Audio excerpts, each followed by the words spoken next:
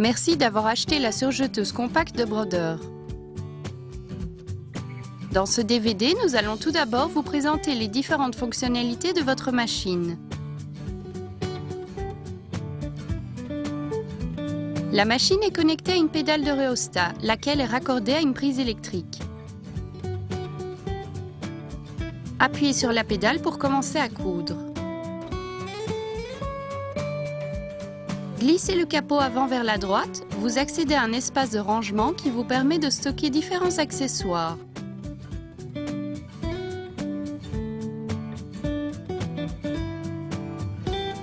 Pour faciliter la réalisation des ouvrages tubulaires et coudre en mode bras libre, vous pouvez retirer la table d'extension. Pour récupérer facilement les chutes de tissu, fixez le coffret à déchets en option.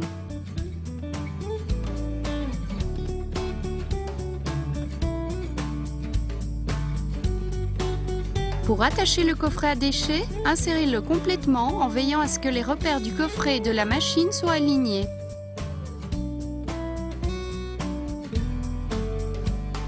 Vous pouvez aussi utiliser le coffret à déchets pour ranger la pédale du rhéostat après usage.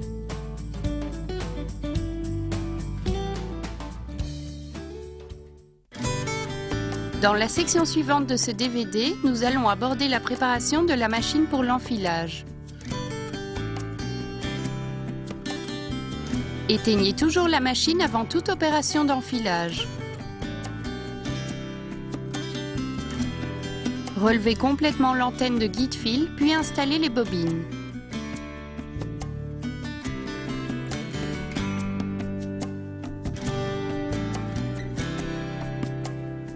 Actionnez le levier releveur du pied de biche pour relever le pied de biche. Tournez le volant vers vous pour aligner les repères.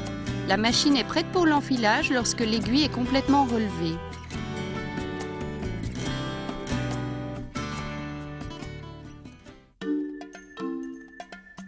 Nous allons maintenant vous montrer comment mettre en place les fils sur la machine. Cet exemple est réalisé avec un réglage à deux aiguilles, quatre fils. La bobine tout à fait à droite lorsque vous vous trouvez face à la machine correspond au boucleur inférieur. Les autres bobines représentent respectivement, en continuant vers la gauche, le boucleur supérieur, l'aiguille droite et l'aiguille gauche.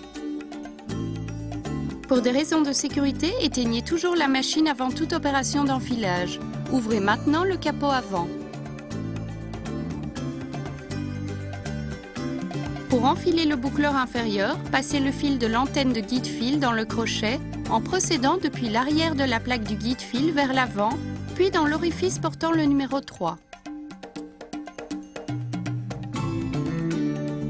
Passez ensuite le fil dans le disque de tension bleu, puis successivement dans chaque point d'enfilage identifié en bleu jusqu'au numéro 8.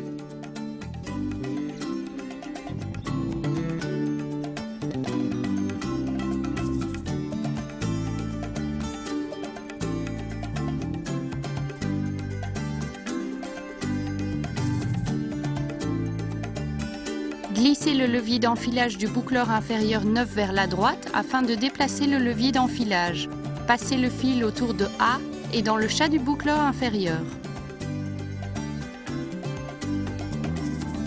Amenez ensuite le fil derrière le boucleur supérieur.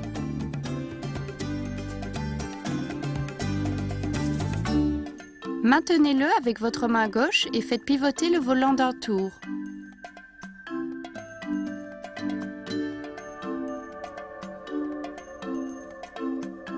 Enfilez maintenant le boucleur supérieur en procédant de la même manière. Passez le fil dans le disque de tension vert, puis successivement dans chaque point d'enfilage identifié en vert jusqu'au numéro 7.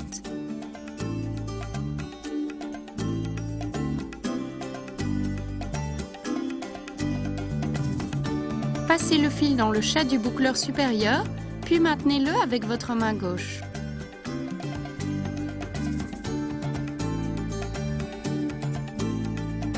Enfilez l'aiguille droite en suivant la même procédure que pour les boucleurs. Passez le fil dans le disque de tension rose, puis successivement dans chaque point d'enfilage identifié en rose. Amenez-le ensuite à la droite du séparateur. Passez le fil dans le guide-fil de la barre d'aiguille, puis dans le chat de l'aiguille droite.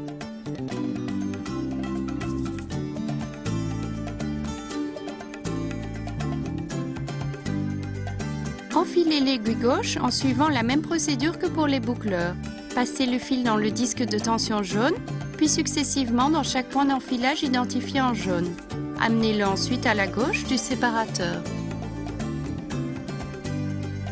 Passez le fil dans le guide-fil de la barre d'aiguille, puis dans le chat de l'aiguille gauche. L'enfilage est terminé. Nous vous rappelons que cet exemple a été réalisé dans le cas d'un réglage à deux aiguilles, quatre fils. Nous allons maintenant vous montrer comment ajuster le point.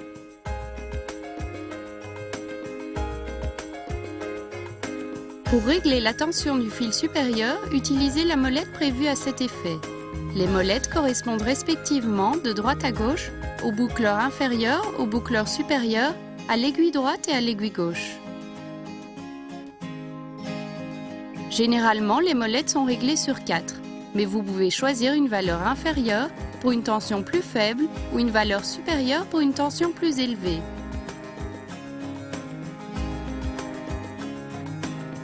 La longueur du point est généralement définie sur 3. Vous pouvez toutefois sélectionner une valeur inférieure pour des points plus courts ou une valeur supérieure pour des points plus longs à l'aide de la molette de réglage prévue à cet effet.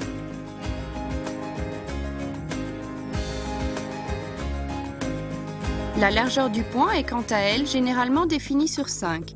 Là aussi, vous pouvez choisir une valeur supérieure pour des points plus larges ou une valeur inférieure pour des points plus étroits à l'aide de la molette de réglage prévue à cet effet. Pour ajuster la pression du pied de biche, utilisez la vis de réglage.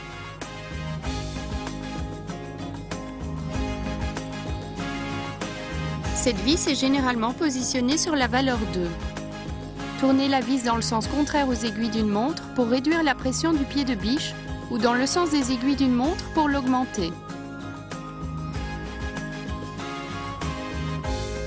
La machine est munie de deux griffes d'entraînement différentielles, une à l'avant et une à l'arrière. La capacité d'entraînement de chaque griffe peut être modifiée selon le tissu utilisé pour obtenir des points plus nets.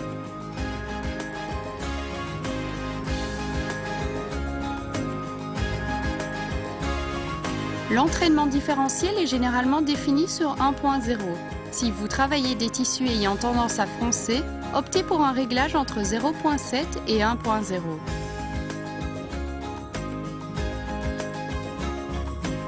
Pour les tissus qui s'étirent, préférez en revanche un réglage entre 1.0 et 2.0.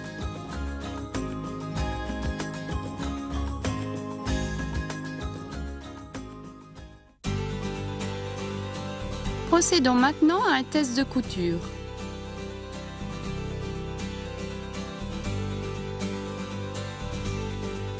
Mettez la machine sous tension, puis relevez le pied de biche. Maintenez les quatre fils dans votre main gauche, puis étirez-les d'environ 15 cm derrière le pied de biche.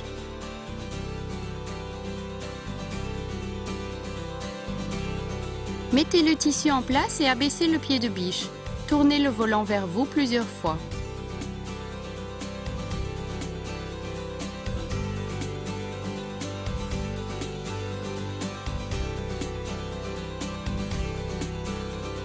Maintenez le tissu pour le guider et appuyez sur la pédale du rhéostat pour commencer à coudre.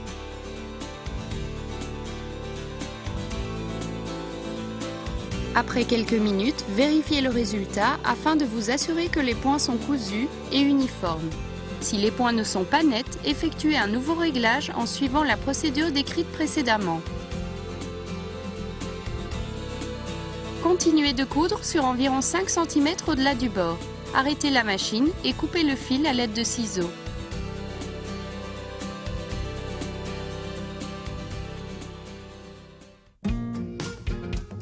Nous allons maintenant réaliser une session en situation réelle.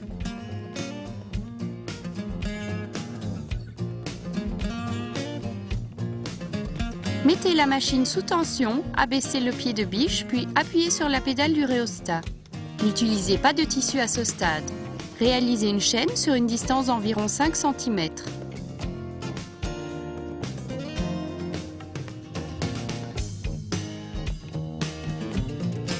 Relevez le pied de biche et mettez en place le tissu en l'alignant avec le guide du pied.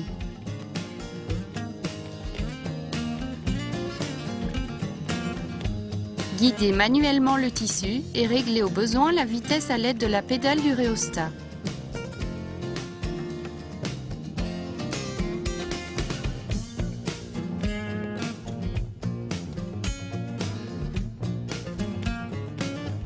Voyons maintenant comment sécuriser les chaînes afin d'éviter les filochages.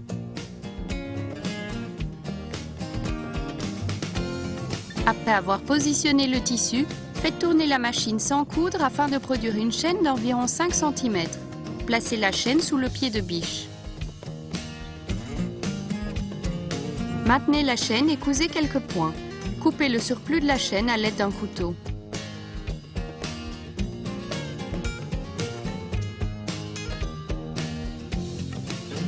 À la fin de la couture, cousez un point au-delà du bord du tissu et arrêtez la machine. Relevez le pied de biche et l'aiguille, puis inversez le sens du tissu. Tournez le volant vers vous pour abaisser l'aiguille afin qu'elle revienne dans la même position qu'à la fin de la couture. Abaissez le pied de biche et commencez à coudre. Coupez ensuite le fil qui dépasse à l'aide de ciseaux.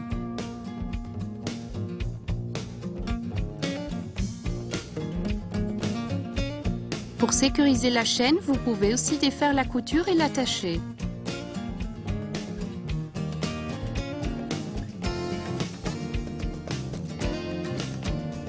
Pour ce faire, insérez une aiguille à chat large dans le point.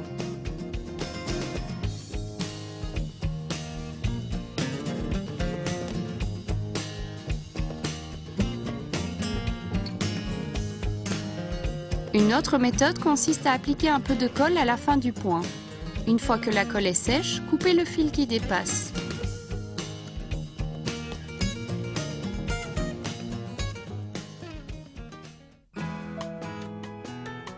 Passons maintenant en revue quelques autres points et techniques de couture.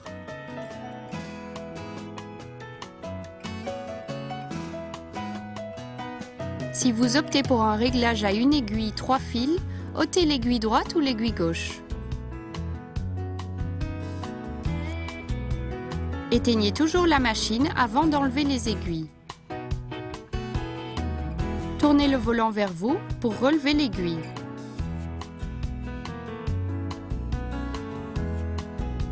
Maintenez l'aiguille dans votre main gauche, puis retirez-la à l'aide du tournevis hexagonal fourni.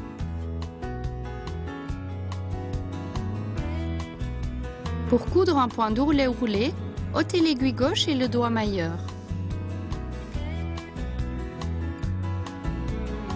Pour retirer le doigt mailleur, ouvrez le capot avant et tirez le doigt mailleur vers la droite.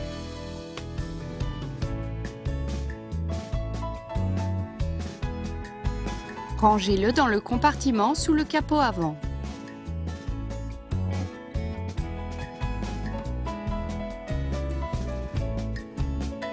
Pour coudre sans couper le bord du tissu, retirez le couteau à l'aide du levier du capot avant.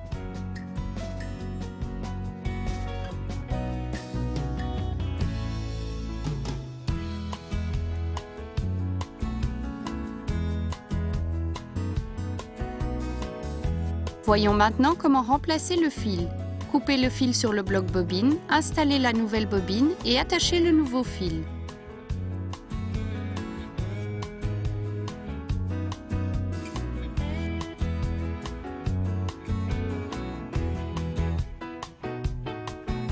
Relevez le pied de biche et tournez le volant pour abaisser l'aiguille.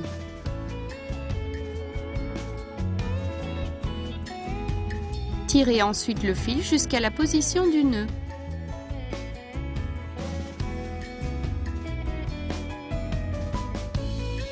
Dès que le nœud atteint la pointe de l'aiguille, coupez le fil avec des ciseaux, relevez l'aiguille et insérez le fil dans le chat de l'aiguille.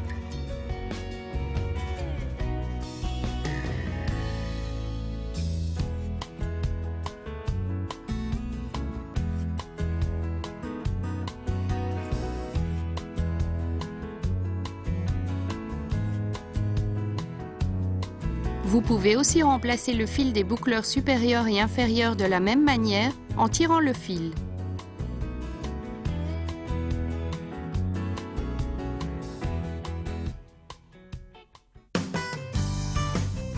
Passons maintenant à la maintenance de la machine.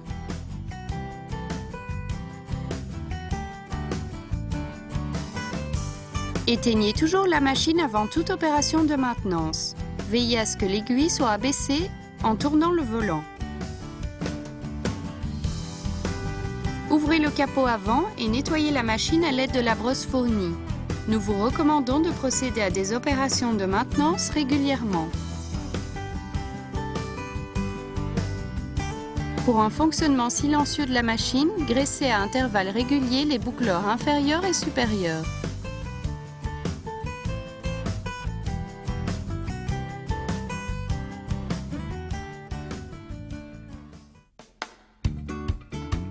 Regardons maintenant de plus près les techniques de couture disponibles avec les pieds en option.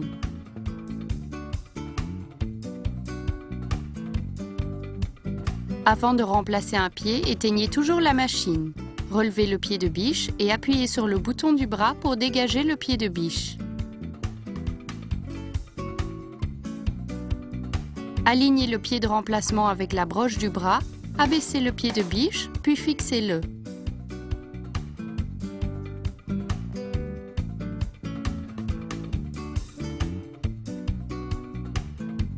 Pour coudre des manches de t-shirt, des bas de pantalon de survêtement ou tout autre tissu étirable, utilisez le pied pour point invisible.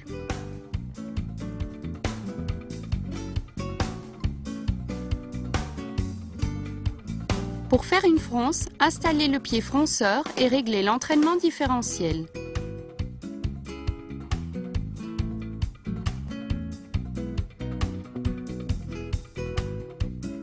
Pour coudre des perles ou d'autres décorations sur des cols ou des bords de jupe, optez pour le pied pour pose de perles.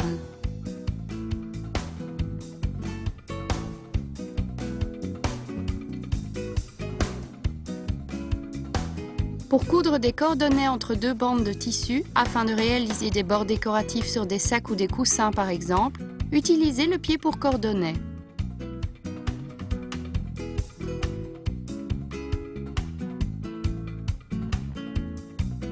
Enfin, avec le pied pour ruban, vous pouvez couper le bord du tissu et coudre des élastiques.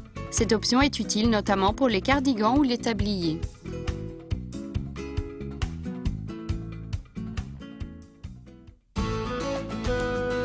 Nous espérons que vous serez satisfait de votre surjeteuse compacte brodeur.